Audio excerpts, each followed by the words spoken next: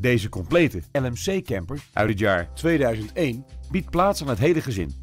De typische familiecamper heeft een lengte van 6 meter 25 en is geschikt voor chauffeurs met een B-rijbewijs.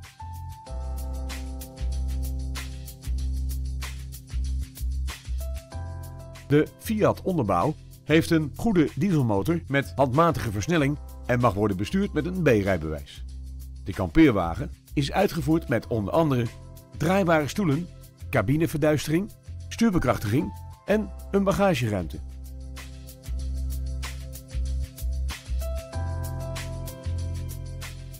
Het interieur bestaat onder meer uit een gezellige middendinette en de praktische kitchenette.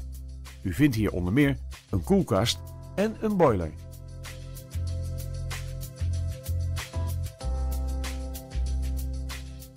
Afsluitend worden nog de accessoires genoemd die het kamperen veraangenamen.